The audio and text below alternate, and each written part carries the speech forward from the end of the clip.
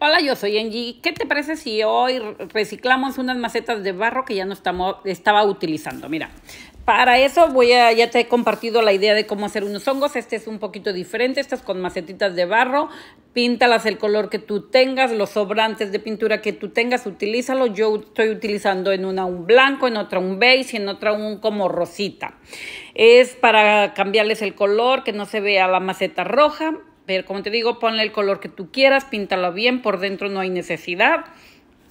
Ya cuando las tengas pintadas de los colores que tú quieras, vas a, hacerle las marcas de hongos igual a tu gusto, a tu, a tu forma, a tu estilo. Yo ahí a uno le puse unas poquito de manchadito en las orillas.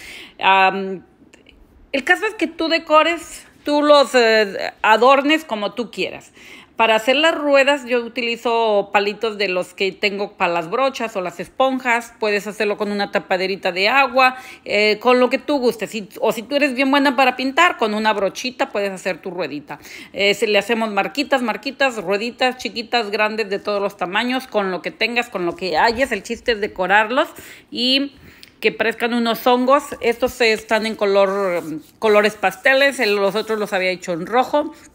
A este que es beige le estoy poniendo manchas grises y rositas, creo, sí. Al que es rosita le puse blanco y listo. Miren, ese garrote, ese palo me lo traje ahora que fuimos a las montañas a caminar. Ya estaba sin cáscaras, entonces me encantó. Lo corté en tres pedazos, diferentes medidas.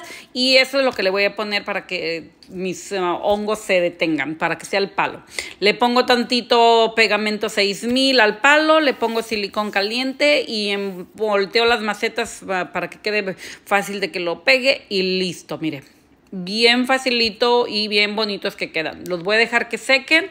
Ya que estén secos les voy a dar una capa de, de este acabado o brillo. Yo les recomiendo que cuando sean adornos para la parte de afuera siempre le pongan algún brillo protector que aguante. Porque si no luego luego se les va a hacer la pintura fea. Yo le doy una capa bastante generosa que quede bien mojadito, bien empapadito y bien brillosito para que cuando se mojen no se me haga tan rápido fea la pintura. Listo, ya casi están listos con su brillo y todo, ya quedaron pegados al palo y ya nomás los voy a ir a buscar dónde los voy a acomodar. Y aquí están, mírenlos, ahí están mis nuevos hongos en colores pasteles. Me encantan, se me hacen muy tiernos. Eh, las macetitas, pues como les dije, no las estaba usando. Entonces, pues qué mejor que seguir decorando nuestro jardín. Aparte no quedaron así como colores pastelitos muy tiernos. Bueno, ya saben, soy Angie Miranda. Si te gusta la página ya sabes qué hacer. Te lo estoy pidiendo porque me gustaría que la página crezca más para yo poderle seguir compartiendo mis videos. Y pues nos vemos en el próximo. Bye.